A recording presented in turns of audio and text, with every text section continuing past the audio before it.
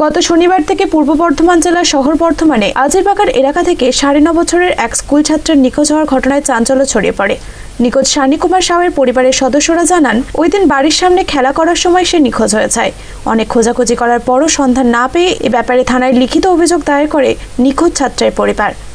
জানা যায় শানি কুমার সাহ মুন্সি প্রেমচাঁদ স্কুলের ছাত্র ছিল। অভিযোগের ভিত্তিতে নিখোঁজ ছাত্রের সন্ধান চালাচ্ছে পুলিশ। বাচ্চা খেলতে খেলতে গুম হয়ে शाम से अभी तक नहीं मिला कौ दिन हुआ?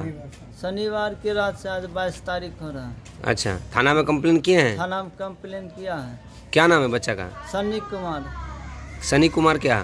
साहब। हाँ तो कितना साल का है? साढ़े नौ साल का है। हाँ, कौन स्कूल में पढ़ता है? ये मुंशी प्रेमचंद स्कूल। कहाँ का स्कूल है ये? ये डैम्प में है। आलमगंज में? हाँ आलमगंज से डैम्प अच्छा तो खोजा खोजी किए हैं? खोजा खोजी कर रहा हूँ। कहाँ कहाँ खोजे इधर ट्यूशन उशन किया है इधर कॉलेज मोड़ गया दिल्ली पोखर उखर खोजा है। नहीं मिल रहा है? नहीं मिल रहा है। अच्छा क्या पहना था ड्रेस में? ड्रेस में जीन्स पैंट और शर्ट पहना था जूता भी पहने थे। कौन सा कलर का ड्रेस था?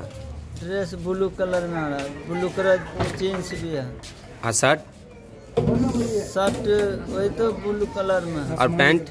पैंट भी ब्लू कलर में है अच्छा अभी कहाँ रहते हैं अभी हाजिर बागान हाजिर बागान गोबर माठ आ, अ, कहाँ से मतलब गुम हुआ घर से ही ना स्कूल से घर से गुम हुआ घर अच्छा आपका नाम क्या है प्रसिद्ध साहब कहाँ का रहने वाले हैं बिहार के বর্ধমান থেকে পিন্টু প্যাটেলের রিপোর্ট আনন্দ বার্তা